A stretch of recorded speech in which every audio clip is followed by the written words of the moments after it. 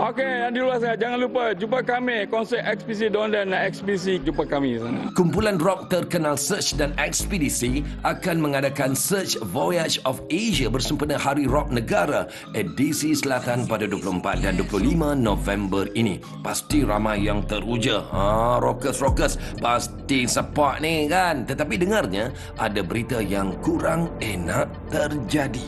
Apa tu? Jom, jom, jom, jom.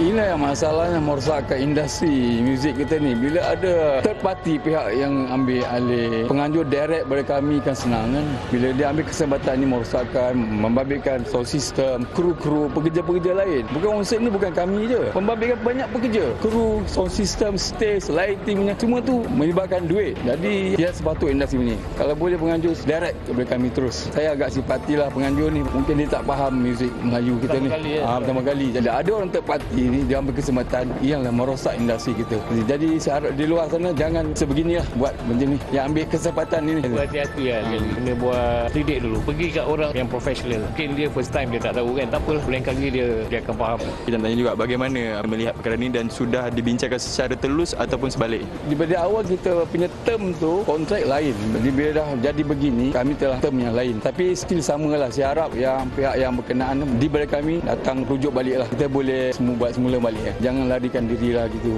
Jumpalah pada penganjur. Kita boleh bincang balik semula. Harap begitulah. Cuma term bertukar sikit saja. Kita nak tahu tindakan seterusnya. Jangan gunakan orang ketiga. Nasihatkanlah. So direct pada kami semua. Benda ni memang dah rosak sebenarnya. Kali benda ni dia macam start balik. Mula balik dengan Ya. agreement balik dengan tim yang baru. Kita kisah pada penganjur kan. Harap jangan terjadi lagi dalam industri kita ini. Yalah setakat ini kita nak tanya juga penjualan tiket bagaimana? Saya dipahamkan jual tiket memberangsangkan lah, menggalakkan lah. Mesti berjalan tiket tu.